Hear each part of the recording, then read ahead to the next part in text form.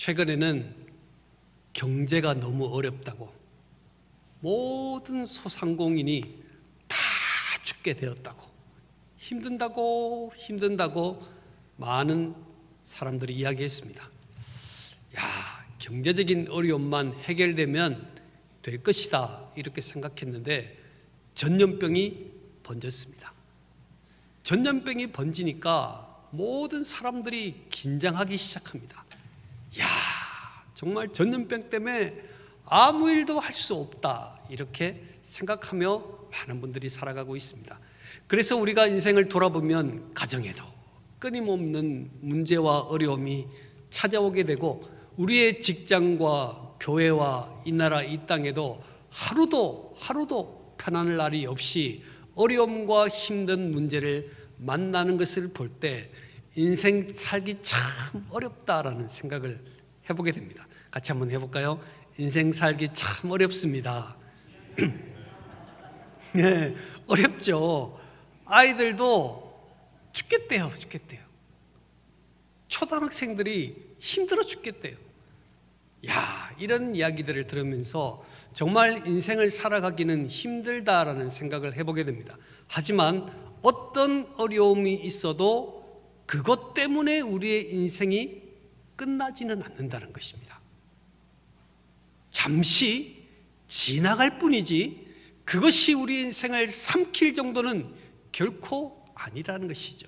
하나님께서 이제 그만 하시지 않으면 마침표는 없습니다. 우리 인생에 수많은 어려움이 있을지라도 우리는 이 또한 지나가게 될 것이다. 이 자세로 이 시간 우리가 하나님 앞에 선다면 어떤 문제와 어려움도 이길 수 있는 힘이 있다라는 사실입니다. 이 또한 지나가리라. 한번 같이 해볼까요? 이 또한 지나갑니다. 네, 오늘 본문에는 모세라는 믿음의 사람이 등장합니다. 이스라엘 백성들이 하나님 앞에 부르짖었습니다. 하나님, 우리가 죽겠습니다. 우리가 도저히 살 수 없습니다. 라고 하나님께 부르짖을 때 하나님께서는 모세라는 인물을 들어서 이스라엘 백성들을 구원하기 위해서 모세를 부르시고 능력을 주었습니다. 그래서 모세가 광약길을 참 힘들게 걸어가다가 지도자로 다시 부각하여 바로 왕을 만나서 우리 백성들을 풀어주라 라고 말했는데 여러분 바로가 말을 들었습니까? 안 들었습니다. 바로는 더 거칠게 이스라엘 백성들에게 강한 노동력을 발휘했습니다. 그러니 이스라엘 백성들도 그 일로 인해서 너무 힘든 고통을 받게 되니까 바로도 말을 안 듣죠. 이스라엘 백성도 말을 안 듣는 상황 가운데 모세가 서게 되었습니다. 여러분, 모세는 지금까지 자기 힘으로 무엇인가를 할 수 있다 생각하며 살아갔지만 자기 힘으로 어떤 일을 해보았지만 되는 일이 하나도 없었습니다. 인생의 문제가 꼬이기 시작했습니다. 오늘 저와 여러분의 인생에도 이렇게 꼬이는 문제가 만날 때가 너무나 많잖아요. 내 힘으로 이 정도는 할 수 있다고 생각했는데 자녀들이 내 마음대로 움직이지 않아요. 이 정도면 된다고 생각했는데 남편과 아내가 내 마음대로 움직여주지 않는 일들을 생각해 볼 때 우리 인생은 끊임없이 꼬이고 꼬이는 문제 속에 서게 된 것입니다. 모세가 하나님의 부름을 받고 바로 왕을 만났지만 쉽게 문제가 해결되지 않고 오히려 이스라엘 백성들이 더 어려운 상황 가운데 서게 되니까 하나님을 묵상해야 되는데 자기 자신을 묵상하게 되는 거예요. 여러분 인생의 문제가 어디서부터 시작되냐면은 문제를 만났기 때문에 문제가 시작되는 것이 아니라 문제를 풀어감에 있어서 하나님을 생각해야 되는데 자기를 생각한다는 거예요. 자기를 묵상한다는 거예요.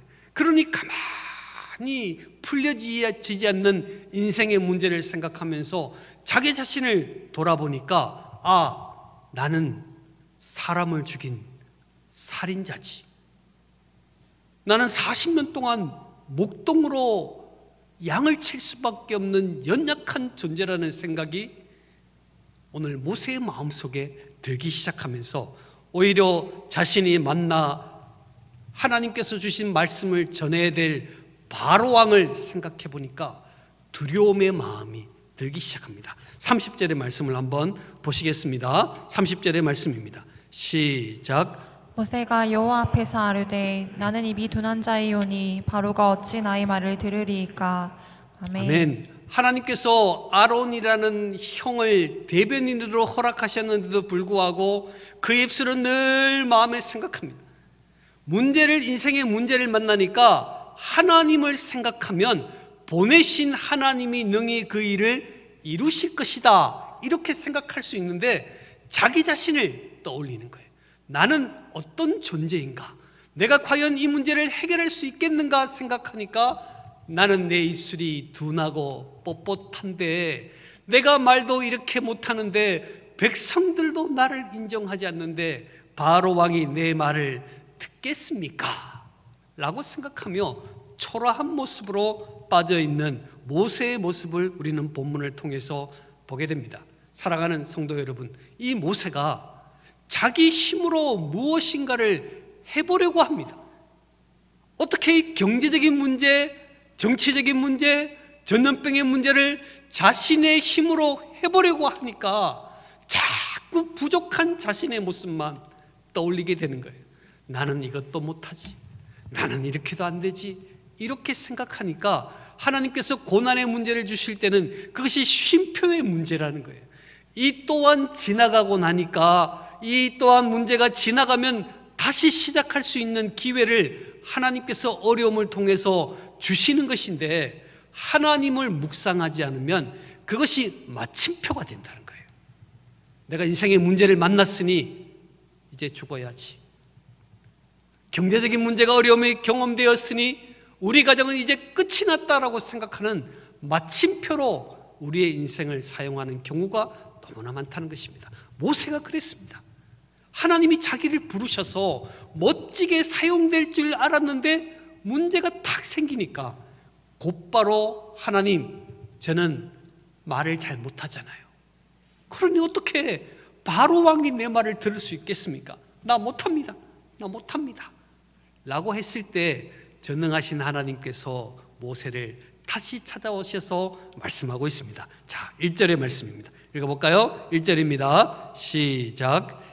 여호와께서 어, 모세에게 이르시되 볼지어다 내가 너를 바로에게 신같이 되게 하였은즉 내 형 아론은 내 대언자가 되리니 아멘. 아멘. 자, 보세요. 인생의 문제가 꼬였을 때 하나님께서 모세에게 이르시되 이 말씀이 얼마나 중요한지 몰라요. 여러분, 내 힘으로 인생을 풀어가는 것이 아니라 하나님의 말씀이 들려질 때 인생의 문제가 풀려지기 시작한다는 것입니다. 하나님, 저는 아무것도 못하겠습니다. 백성들도 저를 미워합니다. 바로 왕도 저를 미워합니다. 제가 무엇을 할 수 있겠습니까? 내 입술은 뻣뻣합니다. 저 못합니다. 라고 했을 때 전능하신 하나님이 모세를 찾아오셔서 말씀하고 있습니다. 여호와 하나님께서 모세에게 이르시되 사랑하는 성도 여러분, 우리의 신앙생활은 너무너무 단순한 거예요. 아무리 머리를 쓰고 아무리 노력할지라도 하나님의 말씀이 들려지기 시작하면서 내 인생의 문제가 풀려지기 시작한다는 이 놀라운 단순한 원리를 저와 여러분이 믿을 수 있기를 바랍니다. 하나님의 말씀이 들려질 때 우리의 인생의 문제가 풀려지기 시작한다는 거예요. 아무것도 못하는 모세에게 다시 하나님께서 찾아오셔서 말씀하심으로 인하여 모세의 문제가 풀려지는 이 모습을 우리는 본문을 통해서 보게 됩니다. 몸이 아플 때는 밥맛이 없어도 계속 먹어야지 체력이 회복되는 것 아시잖아요. 아무리 힘들고 어려운 육체를 가져도 계속적으로 먹게 되면 체력을 가질 수 있습니다. 이처럼 하나님의 말씀을 듣기 힘든 상황 가운데 있을지라도 하나님의 말씀을 들으면 영의 눈이 열리고 능력이 생긴다라는 사실을 저와 여러분이 기억해야 합니다. 모세가 아무것도 못하는 상황 가운데 이러지도 못하고 저러지도 못할 때 하나님의 음성, 들려오는 하나님의 말씀을 듣기 시작하면서 새 힘을 내었던 모세의 모습을 우리는 분명히 보아야 합니다. 신앙생활은 너무너무 단순한 거예요. 같이 해볼까요? 신앙생활은 단순합니다. 신앙생활은 복잡하게 머리를 짜내는 것이 아닙니다. 신앙생활은 어떻게 할 것인가 고민하는 것이 아닙니다. 어려운 일을 만나면 하나님의 말씀을 듣는 거예요. 말씀을 듣는 거예요. 하나님의 말씀을 들으면 그토록 꽉 막힌 인생의 문제가 스르르 풀려지는 은혜를 우리는 경험할 수 있게 됩니다. 모세가 그 은혜를 경험하기 시작했습니다. 하나님의 말씀이 들려지면서 그 인생에 영의 눈이 열리고 영적인 능력이 생기면서 하나님께서 자신과 함께 한다는 자신감을 가지게 되었습니다. 그래서 모세는 당시 80세 나이에 바로를 만났는데 이 바로 왕은 바로 애굽의 왕 아니겠습니까? 이 바로 왕은 신적인 존재예요. 백성들에게 신적인 존재, 모든 사람들이 우러러보는 그 바로 왕이 오늘 본문에 보니까 모세를 신과 같이 여기더라. 이렇게 말씀하고 있어요. 여러분, 하나님의 말씀이 들려지면서 자신의 정체성을 발견하게 됩니다. 하나님이 나와 함께 하실 때 저 신적인 존재라고 추앙받는 바로도 나를 신과 같이 여길 만큼 나는 굉장한 존재라는 사실을 오늘 하나님께서 그에게 말씀하고 있는 것을 보게 됩니다. 여러분, 하나님이 우리와 함께 하시기 때문에 저와 여러분은 능력자임을 믿으시기를 바랍니다. 영의 눈이 열린다는 거예요. 영의 눈이 열리기 전에는 초라한 말도 못하는 초라한 인물에 불과했습니다. 그러나 영의 눈이 열리고 영적인 능력을 받고 난 다음에 그는 자신감을 가졌습니다. 아, 바로가 나를 신과 같이 여길 만큼 나는 대단한 존재라는 사실을 발견하게 됩니다. 여러분, 어떤 누구를 만날지라도 옆 사람이 수평적인 관계로 나를 만날지라도 하나님은 이미 영의 사람, 하나님의 사람, 말씀에 귀를 기울이는 모든 사람들에게는 그를 그 사람보다 더 높이 올리신다라는 것을 영의 눈으로 바라봐야 합니다. 여러분, 우리가 직장 가운데 우리의 직장에 상사가 있습니다. 그러나 나는 하나님을 믿는 사람이고 하나님의 말씀을 따라 살아가는 사람이라면 하나님은 이미 동등한 사람으로 그를 보지 않으시고 우리를 그 사람보다 높이 보시는 하나님이 우리의 하나님이시라. 그래서 저와 여러분이 나 때문에 복을 받는다. 이렇게 말할 수 있는 것입니다. 같이 해볼까요? 나 때문에 복을 받습니다. 그래요. 우리는 영적 자신감을 가져야 합니다. 모세에게 하나님께서 음성을 들려주면서 너를 바로가 신과 같이 여길 것이다. 너는 하나님의 백성이고 하나님의 지도자다라는 사실을 알려주면서 영적인 놀라운 축복을 가지게 되었습니다. 사랑하는 우리 성도 여러분, 우리가 이 시대를 살아가면서 우리에게 가장 중요한 것은 하나님이 나와 함께 하시기 때문에 나는 된다라는 사실입니다. 하나님이 나와 함께 하시기 때문에 나는 대단한 존재라는 사실을 인식하며 살아가는 것이 언제 가능한가? 말씀을 들을 때. 하나님의 말씀을 듣기 시작하면 내가 얼마나 놀라운 존재인가를 깨닫게 되는 것입니다.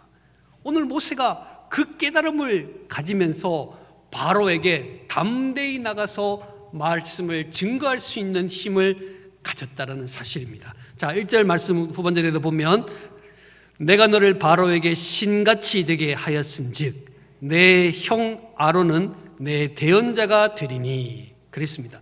형은 83세였습니다.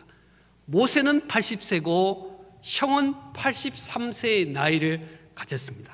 그런데 형의 역할은 뭐예요? 내 대언자가 될 것이다. 이렇게 말씀하셨거든요. 그러면 유대 전통에 보면 나이가 많은 형 아론은 반드시 동생에게 대우를 받아야 되는데 하나님께서 그의 생애 가운데 한 번도 인간적으로 형이라는 이유로 하나님의 사명을 받은 모세를 업신여기거나 함부로 앞서지 못하도록 만드셨다라는 걸 여러분 오늘 본문을 통해서 볼 수 있어야 합니다. 하나님께서는요, 하나님의 말씀을 들어 그 말씀을 따라 살아가는 하나님의 백성들에게는 영적 권세를 반드시 주십니다. 그 영적 권세를 주시기 때문에 그 영적 권세를 가진 자가 하나님이 기뻐하시는 일을 따라갈 수 있도록 돕는 자를 보내는데 그 돕는 자가 아무리 능력이 있고 아무리 연륜이 있다 할지라도 하나님께서는 하나님이 세우신 지도자를 통하여 그 일을 행하신다라는 사실을 우리는 본문을 통해서 볼 수가 있어야 합니다. 오늘 저는 이 본문의 말씀을 보면서 우리 인생은 너무 단순한데 우리의 신앙의 축복은 너무 단순한데 우리가 너무 많은 복잡한 생각으로 인생을 살아가고 있지 않는지를 돌아보게 되는 것입니다. 신앙생활은 단순할수록 좋습니다. 어려움을 만나고 힘든 일을 만나고 문제를 만나면 뭘 해야 되느냐? 하나님의 말씀을 들음으로부터 시작하여 모든 문제가 풀려진다라는 사실을 우리가 꼭 기억할 수 있기를 바랍니다. 같이 한번 해볼까요? 인생의 문제가 꼬이면 말씀을 들어야 합니다. 말씀을 들으면 나의 신분을 깨닫게 되고 말씀을 들으면 동력자를 통하여 하나님이 함께 그 일을 행하신다라는 사실을 깨닫게 됩니다. 반면에 바로 왕의 모습을 한번 생각해 볼까요? 이 바로 왕은 하나님의 말씀을 듣지 않는 사람입니다. 하나님께서 바로의 마음을 완악하게 하셨다. 3절의 말씀을 보겠습니다. 3절입니다. 시작. 내가 바로의 마음을 완악하게 하고 내 표징과 내 이적을 애굽 땅에서 많이 행할 것이나 아멘. 아멘. 악한 사람도 하나님의 도구가 됩니다. 선한 사람도 하나님의 도구가 되지만 악한 이도 하나님의 도구가 된다라는 사실을 기억하셔야 합니다. 보세요. 하나님께서 바로 왕의 마음을 완악하게 하셨다. 이렇게 말씀하고 있거든요. 완악한 바로가 하나님께서 그 마음을 강팍하게 한 것이 아니라 이미 바로 왕은 강팍한 마음을 가지고 있습니다. 그 마음을 하나님께서 그대로 내버려 두셨다. 이렇게 우리는 해석할 수 있습니다. 그러니까 바로 왕이 강팍했는데 그 강팍한 바로 왕의 마음을 하나님이 사용하셔서 강팍하니까 열 가지 재앙을 만나게 되잖아요. 근데 열 가지 재앙을 보면 피로 변하고 깨구리가 있고 이가 있고 파리가 파리떼가 공격하는 그 엄청난 많은 어려움이 있는데 우리가 한 가지 어려움만 있어도 이거 해결 못 합니다. 파리가 온 동네 온 마을에 다 파리 공격이 있다면 우리가 어떻게 이길 수 있겠습니까? 그런데 바로 왕은 하나님께서 강팍한 마음을 그대로 두시니까 그걸 끝까지 이겨냅니다. 대단하지 않습니까? 이 강팍함이라는 게 이렇게 무서운 거예요. 바로 왕을 보세요. 어떻게 이걸 이길 수 있냔 말이에요. 개구리가 음식 가운데 펄쩍펄쩍 뛰어다니는데 잠을 자는데 콧구멍에 개구리가 들어가려고 하는데 어떻게 이길 수 있냔 말이에요. 그런데 바로 왕은 강팍한 마음을 가지니까 그걸 걷더니 이겨내는 겁니다. 열 가지 재앙을 그, 걷더니 이겨내면서 이스라엘 백성들을 그 땅에 그 땅으로 떠나지 못하도록 끝까지 붙잡는 거예요. 그러나 하나님께서 결국 그를 치시니까 이스라엘 백성들이 떠나갈 수 있게 됩니다. 여러분 열 가지 재앙이 없었다면 이스라엘 백성들이 과연 그 땅을 떠났을까요? 장자의 죽음에 어려움이 없었다면 그 땅을 과연 떠났을까요? 하나님은요, 바로의 강팍함을 사용하셔서 이스라엘 백성들을 구원하는 놀라운 일을 행하셨습니다. 그러나 가만히 주목해 보면 바로 왕은 하나님의 목적에 따라 사용되었지만 악한 이기 때문에 그 일을 했지만 결국 버림받는 신세가 되었다라는 겁니다. 악한 사람도 반드시 하나님의 도구로 사용됩니다. 그러나 그 사용의 존재가 다 끝나게 되면 결국 버려지게 되는 것이죠. 잠언 16장 4절의 말씀을 한번 보시도록 하겠습니다. 읽어볼까요? 시작. 여호와께서 온갖 것을 그 쓰임에 적당하게 지으셨나니 악인도 악한 날에 적당하게 하셨느니라. 아멘. 하나님께서는 모든 것을 목적대로 사용하시는데 특별히 악인도 악인의 날에 적당하게 사용하셨다 이렇게 말씀하셨습니다. 모든 이들은요 하나님의 쓰임에 따라 다 목적에 따라 움직여집니다. 선한 하나님의 백성은 선한 계획대로 쓰임 받게 되고 악한 이들은 악한 목적에 따라 사용되게 되지만 선한 이들은 하나님의 뜻 가운데 쓰임 받고 축복을 받게 되지만 악한 사람들은 다 버림을 받게 되는 것입니다. 우리 가정과 직장을 돌아보면 바로와 같이 하나님의 말씀을 듣지 않는 완악한 자들이 있습니다. 우리의 배우자일 수도 있습니다. 우리의 자녀일 수도 있습니다. 우리 직장에 보면 나도 알지 못하게 나를 공격하는 상사일 수도 있습니다. 또한 이단자일 수도 있습니다. 여러분, 우리 가정과 우리 직장 속에 수많은 바로와 같이 완악한 존재들이 너무너무 많이 있습니다. 그러나 여러분 기억하십시오. 그들이 악하게 나를 공격할 때, 아, 이들을 통해서 하나님이 나를 돌아오라고 말씀하시는구나. 이렇게 깨달아야 한다는 거예요.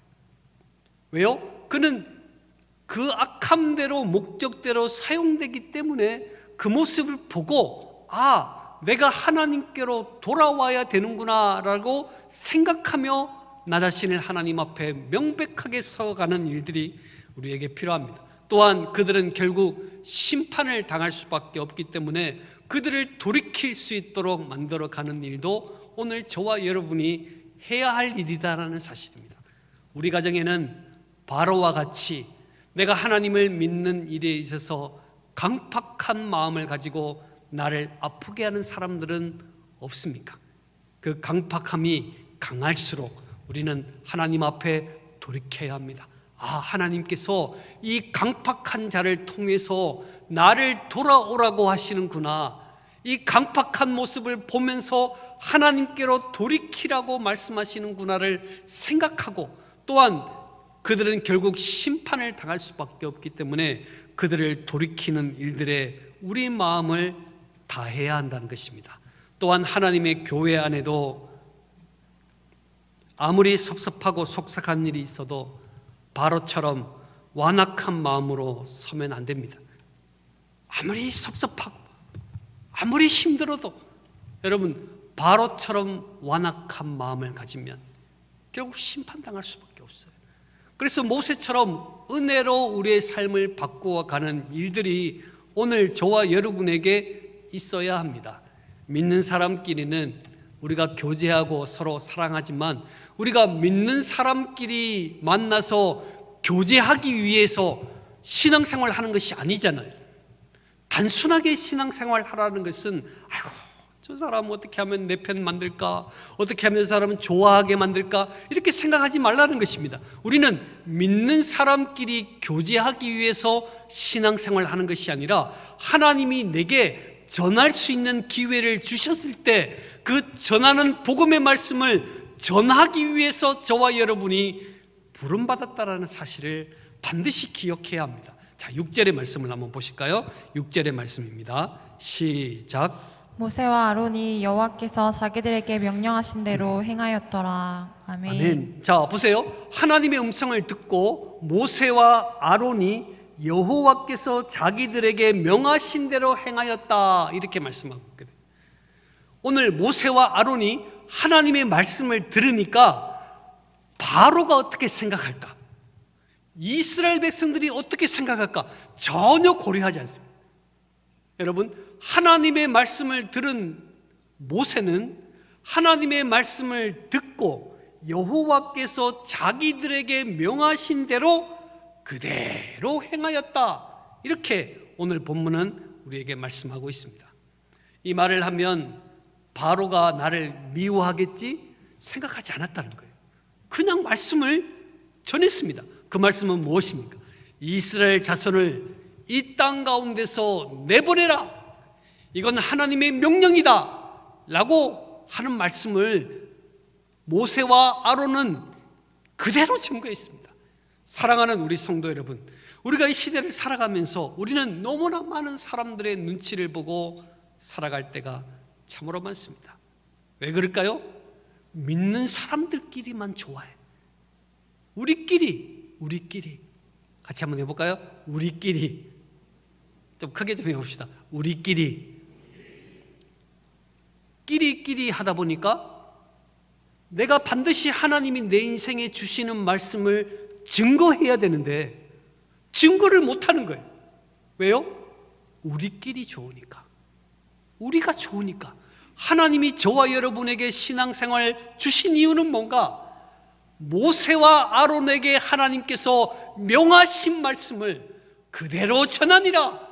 하나님은요, 이 땅 가운데 저와 여러분의 인생을 사용하셔서 주의 귀한 말씀을 그대로 증거하라고 저와 여러분을 보내셨는데 인생의 문제를 만나니까 자꾸 자기만 묵상하는 내 힘만 묵상하는 거예요. 그리고 나와 함께하는 사람들만 생각하니 여러분 영적으로 힘을 잃은 그리스도인들의 모습 아니겠습니까? 하나님께서는 모세와 아론에게 찾아오셔서 말씀하고 있습니다. 너는 지금 떨 수 있는 시간이 없어. 너는 두려워할 수 있는 시간이 없어. 내가 너에게 명령한 그 명령의 말을 너는 바로에게 반드시 전해야 한다라고 말씀하는 그 말씀을 받고 반드시 전할 때에 출애굽의 역사에 놀라운 은혜를 경험하게 되었습니다. 모세는 80의 나이, 그 형 아론은 83세의 나이입니다. 가만히 모세가 보니까 그 형 아론은 고민을 안 합니다. 왜 고민 안 하죠? 아론은 지금 대언자잖아요. 대변인이잖아요. 그러니 모세가 말하는 말만 나는 거예요. 그리 고민할 필요가 없죠. 그렇잖아요. 모세는 하나님의 음성을 듣고 그 음성대로 움직이는 지도자이지만 아론은 하나님의 음성을 듣고 움직이는 하나님의 백성이지만 모세가 전하는 말을 바로에게 전하는 것이잖아요. 그러니 아론의 역할은 모세가 하는 말만 전하면 되는 것입니다. 그러니 모세가 가만히 형을 보니까 형은 고민을 안 해, 고민을. 그러나 자기는 고민을 하고 있잖아요. 왜 고민하는 것입니까? 하나님의 종이라는 사실을 그가 깨달아야 되는데 자기가 하나님의 종이라고 생각 안 하는 거예요. 그러니 자꾸 고민만 하는 거예요. 아론을 보면서 아 나의 대변자인 형 아론은 아무런 고민 없이 말씀을 전하는데 왜 나는 전하지 않는 것일까 생각해 보니까 자기의 신분이 하나님의 종이란 말이에요. 종은 주인이 시키는 대로 하면 되는 겁니다. 그 사실을 아론의 형을 형 아론을 보면서 깨달았습니다. 아, 그렇구나. 형이 내 말을 그대로 전하는 것처럼 나도 하나님이 주시는 말씀을 그대로 전하면 되는구나. 라는 사실을 깨닫게 되는 것입니다. 여러분, 그래서 우리는 신앙생활하면서 타인의 모습을 보면서 자신을 돌아볼 수 있는 자신을 점검할 수 있는 은혜를 가질 수 있게 되는 것입니다. 하나님 우리 모두를 선한 도전의 도구로 사용되기를 원하십니다. 오늘 저는 이 인생의 문제를 만난 모세를 보면서 우리가 인생의 문제를 만나면 너무 인생이 복잡합니다. 고민 너무 많이 합니다. 답답합니다. 그러나 모세를 보십시오. 너무 간단합니다. 인생이요. 인생이 이렇게 간단할 수 없어요. 문제를 만나고 어려움을 만나니까 하나님의 음성을 듣습니다. 하나님의 말씀을 듣습니다. 인생의 모든 문제는 하나님의 말씀을 들음으로부터 시작하여 인생의 모든 문제가 풀려지는 것입니다. 아이고 나는 말씀 듣기 싫어. 그럼 인생이 계속 꼬이는 거예요. 나는 하나님의 말씀 받기 싫어. 인생이 꼬이는 거예요.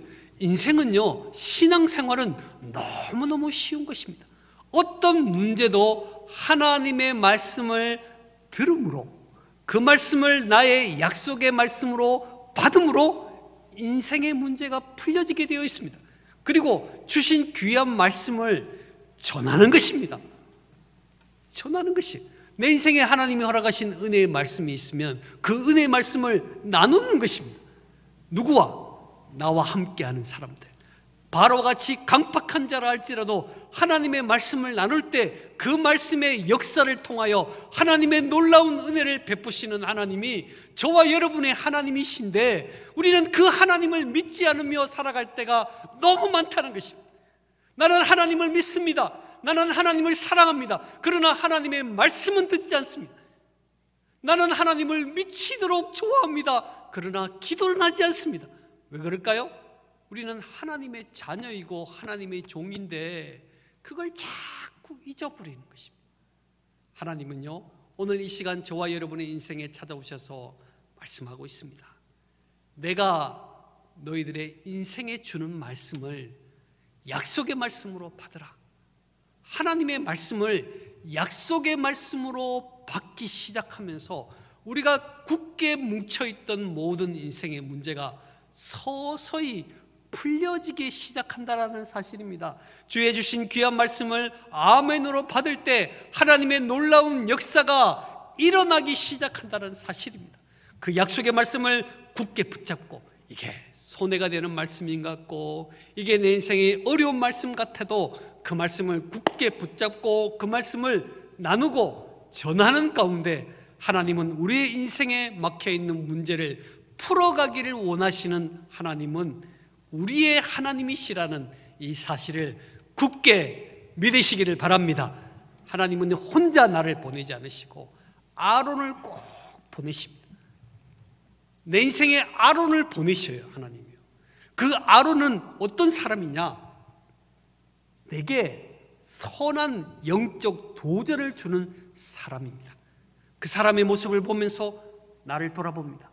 옆 사람을 보면서 나를 돌아봅니다. 아, 하나님은 이렇게 내 인생을 만들어 가시는 하나님이시구나. 이렇게 생각하면서 우리의 인생의 길이 온전히 걸어갈 수 있다면 하나님은 어떤 인생의 문제도 능히 이겨갈 수 있도록 만드시는 하나님, 그 하나님이 우리가 믿는 하나님인 줄을 믿으시기를 바랍니다. 기도하겠습니다.